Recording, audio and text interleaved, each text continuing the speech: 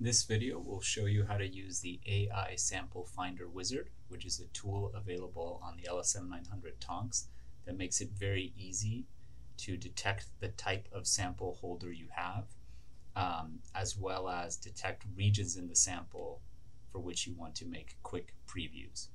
Now, for this to work, all you need is to have your sample on the microscope. You don't need to select a particular objective.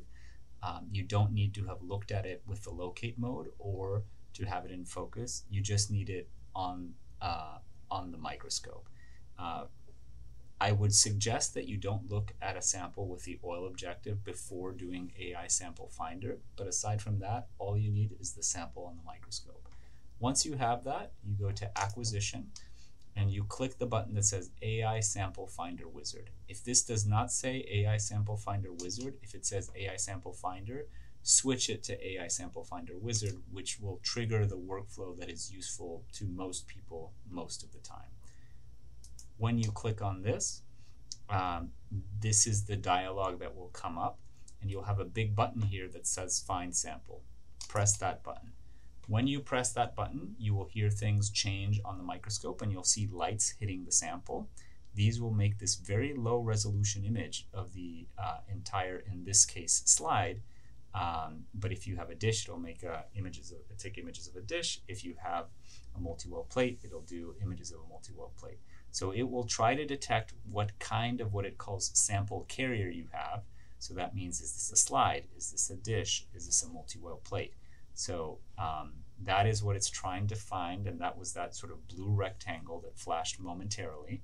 Once it detects uh, the kind of sample carrier you have, so slide, dish, multi-well plate, it will try to detect regions inside that sample that you might want to uh, make previews of. So in this case, this sample has a bunch of sections on it.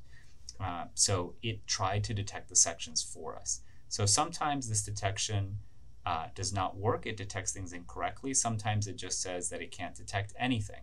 So in this case, it realized that it did detect things, but they're probably incorrect. So it's giving us this caution uh, value. And this is typical. It, it, there's nothing particularly wrong or, um, with this sample.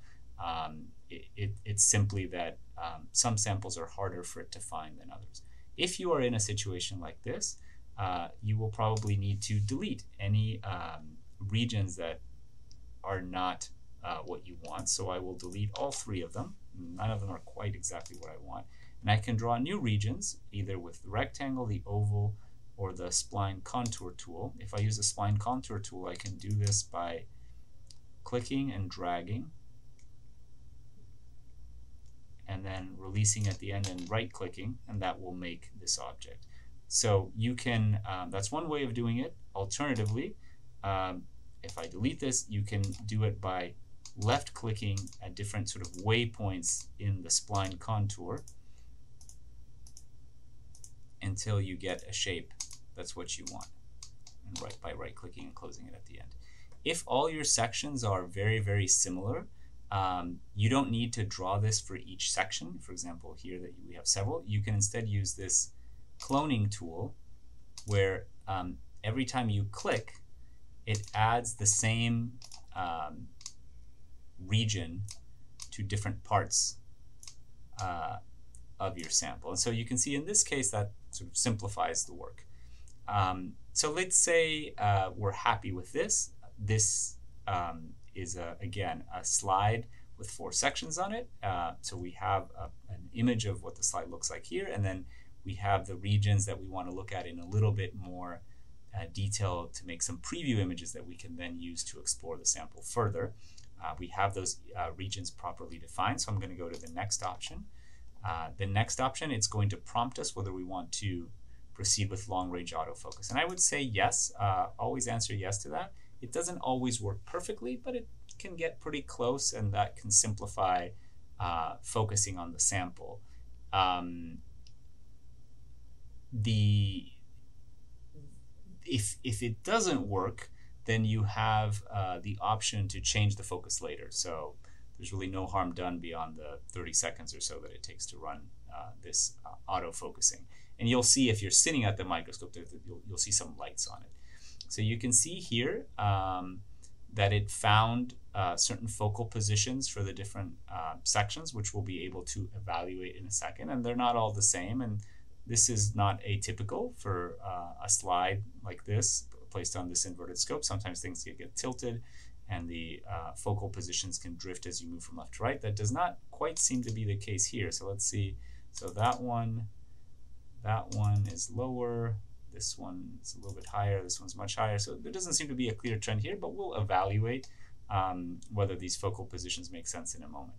So this what call, what it calls the setup scan are these previews or, or little maps that it makes. It uh, by default does them with the 5x objective. I would not change that, and it uses a camera, so it doesn't do this with confocal, and it gives you the option of up to four uh, channels that you can use. One is simple bright field. Another is coherent contrast, which is a, a form of bright field that has a little bit more contrast to it.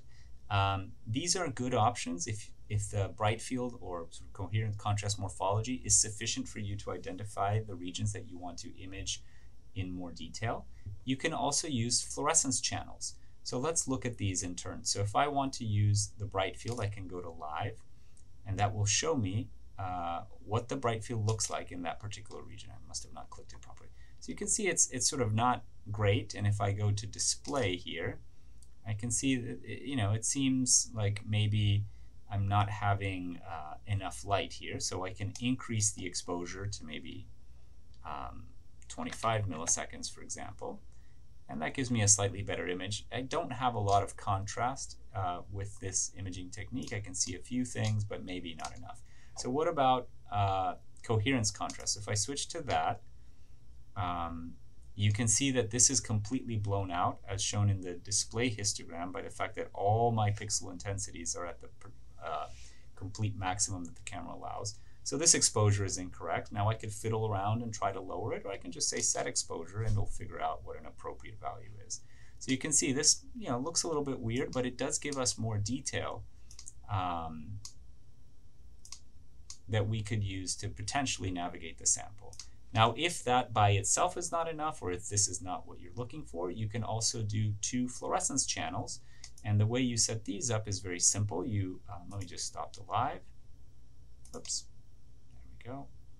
Um, if I say select, I can select whichever fluorophores are in the sample. So this is a particular sample that was kindly provided by the Scott Williams lab that has um, four fluorophores. It has DAPI, uh, far red, uh, something sort of equivalent to Alexa Fluor 568 and uh, Alexa Fluor 488. So I could use any of those channels. So for example, I can say I want to look at DAPI. So if I click on that, uh, just by telling it what fluorophore we want to look at, the system figures out well, what the position of all the right filters is. And if we go to live, it just shows us what the DAPI signal looks like. Uh, alternatively, uh, we could look at another fluorophore so one nice thing uh, about using this system is that we can make a preview image uh, based on a far red fluorophore, which by eye would be invisible. So for example, this, this sample has something very similar to Alexa Fluor 647. So we could um, make a preview image with that fluorophore, which again, we cannot see by eye. Um, so you can see how useful this might be. And we can make those previews with up to all four of these. Uh, now we only have the option of combining in this kind of preview mode two fluorescent channels. Um, but we can do up to two fluorescent channels and up to four total. Now which ones of these you use, completely up to you. Uh, I'm just going to illustrate this uh, with the DAPI. Once you hit this check mark, it knows that you want to make a preview with that channel, and we can add more check marks to do more channels, for example. I'm just going to do one for the purpose of the video. And then I'm going to say preview scan. When I say preview scan, if I zoom out here by uh, rotating uh, the scroll wheel towards me, I can see the progress of this. So it's making, as you can see here, this is a DAPI preview of the particular region that I told it to do. And you can see it's very, very fast. Um, so it's really worth doing this because um, if you're doing sections, for example, this allows you to see which sections and where in the sections you might want to image very, very quickly before you switch to confocal. Um, if you're doing uh, an analysis of cells, this kind of thing can um, be very useful to detect particular regions where there are cells, for example, on a cover slip. Sometimes cells are distributed non-uniformly on a cover slip. Or even if there are particular cells that are marked with a particular fluorophore, you can see where those rare cells might be uh, in, a, in a cover slip that might have only a few of them. So we'll let this finish and then I will illustrate how you move forward from here.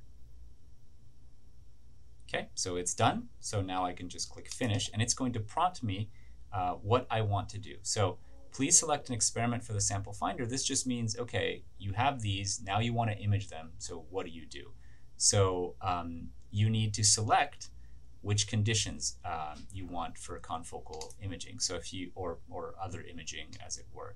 So I'm going to select uh, for this sample, uh, this particular four channel setting, which is appropriate. And then I'm going to click on more options. And I do want to transfer the detected sample carrier template. So that means I want to transfer that image of the slide. I don't want to transfer the detected sample regions to advanced tile setup. So that means you would do that if you then want to take higher resolution images of all these sections, which we don't want, and I don't want to replace any existing tile regions or remove positions. But if you wanted to do those things, just check the appropriate boxes. So if I now say OK, um, this will switch from this sample finder wizard to the acquisition tab in the software, as you'll see in a moment. And uh, we now have this image here that we can navigate through. So if I press the, the scroll wheel button, this is a little bit confusing, but we can navigate by pressing the scroll wheel button. This is a representation of where we are right now. I can switch, for example, to the 20x objective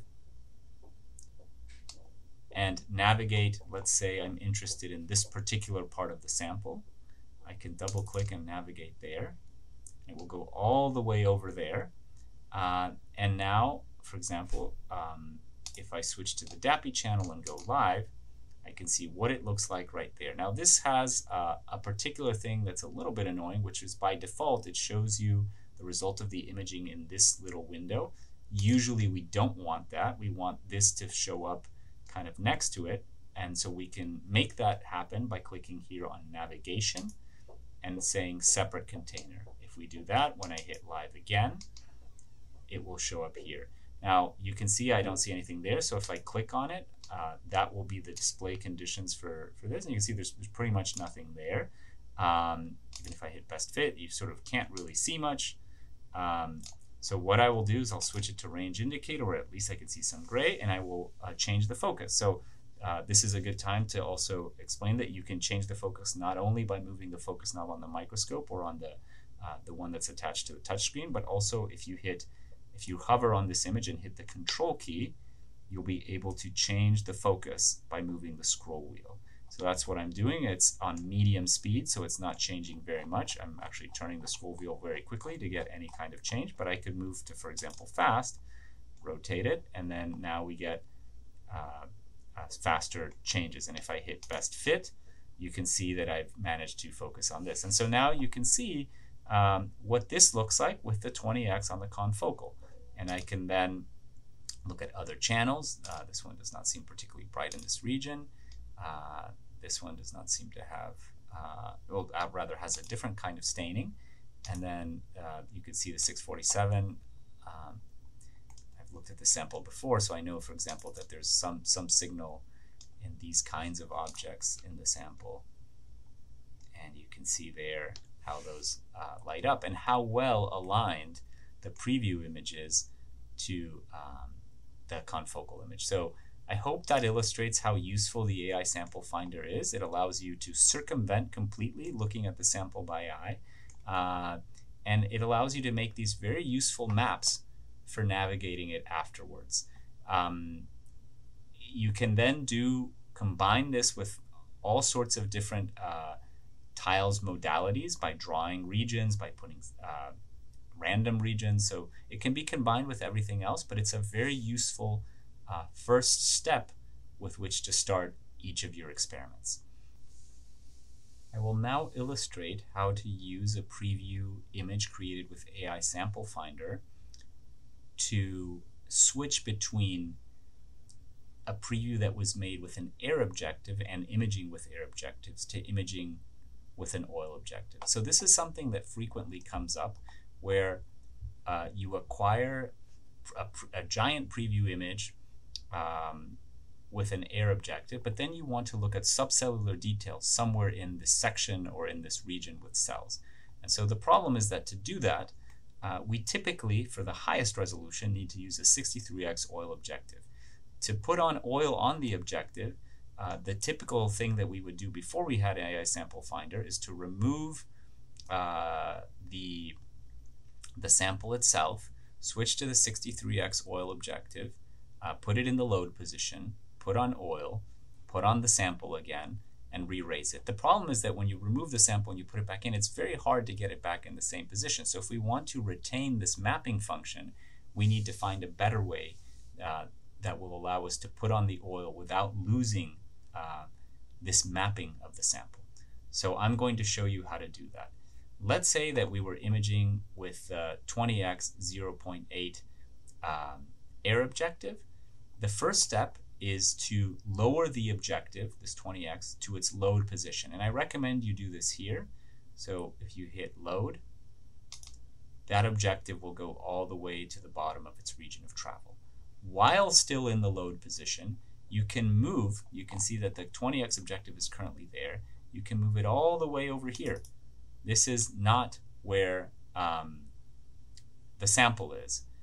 We are still in the load position. I can now switch to the 63x oil. And then I can put on oil, go back here, and then go up to the working position.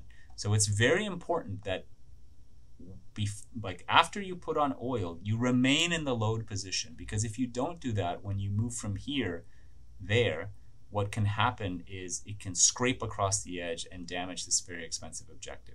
So anytime you are moving the oil objective from here to here, or vice versa, let's say, you know, we look at something here, but then we want to look at something there, we will probably need to re-oil the objective. Make sure you drop it to the load position. And I would say as a matter of, of just safety, do that for all the objectives. Whenever an objective goes from outside of the sample to in the sample using this, uh, this view, make sure they are in the load position. So I'm going to put on oil on this objective right now, uh, and I will uh, show you uh, what the images look like when we go back. I've just placed oil on the 63x oil objective, so I am still in the load position. Very importantly, again, I do not want to go up to the working position when I'm moving from this place to this place. I'm going to go back here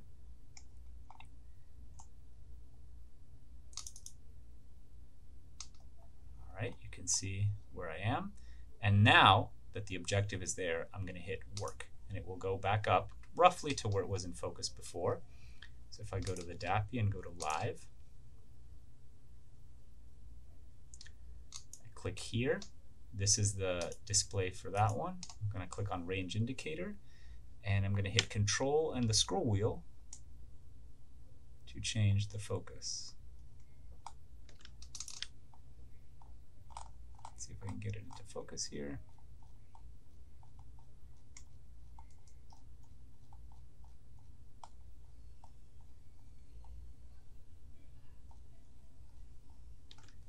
Let me switch to very fast. All right, I'm going down. And here I have found the nuclei at 63x. And I can navigate the sample at this magnification with a map that I made on an air objective before and look at the different um, channels as needed. Now you want to be a little bit mindful of the fact that you have a limited amount of oil on the objective. So if you go here and then you want to suddenly go to another uh, section, uh, don't do that by just double clicking here because that's going to smear oil all over the middle and you'll probably run out. And it's also not a good idea to move the objective long distances in the working position. So if that happens, what I suggest instead was to lower it to the work position, uh, excuse me, lower it to the load position,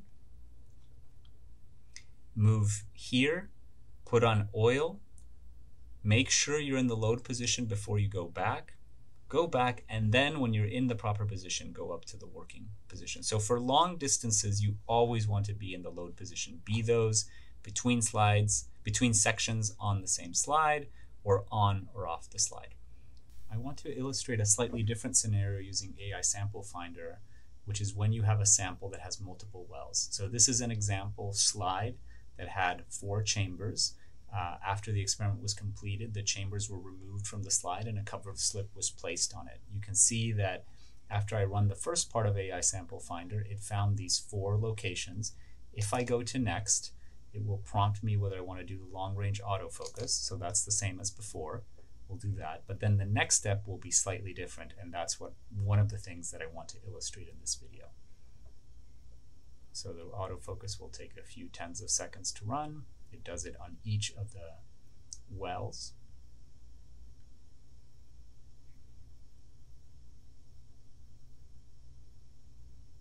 and um, you could see in the previous uh, image as well, uh, in the previous, excuse me, screen as well, it hadn't really found anything. It just found the wells. It didn't find any sections in them or anything like that.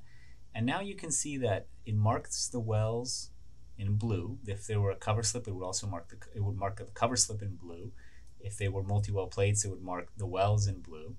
Uh, and then there's this yellow, and this yellow is the region uh, over which it's assuming we want to do the preview and it comes from the fact that the yellow is smaller than, than the blue comes from this fill factor. So this fill factor specifies for the software how much of each well we want to add to the preview. So if I say 90%, that will be almost the entire thing.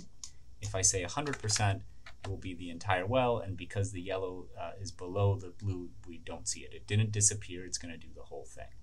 Um, that was one of the things I want to show you uh, in, in this sort of multi-well scenario. The other is if we go to, um, these have uh, some green fluorescence. It's a very old slide, but um, it'll illustrate the point. The other issue is what if we want to change the focus that it detected with the long range autofocus? How do we do that? So for example, if I go to this one and I'm not happy with this focus, I can refocus however I want. That one was actually perfect, but let's say we prefer this focal position. And then we can say update the Z by clicking here for the selected tile regions, and it will update this focus position. I think in this case I didn't change it, so let me update now. So see how now it has changed. Alternatively, we can right click here and say set current Z for selected tile regions, and it will change it accordingly. Um, so that's just a way of adjusting the focus of one, or you can select multiple ones and put them in the same focus if that uh, makes sense. Often that doesn't, but if it did, you could do that. And uh, you can set the current Z for whatever it is uh, to, you know, whatever is here will be uh, imported into the different positions. So again, uh, slight uh, sort of subtle things, but useful things to know when using the sample finder wizard.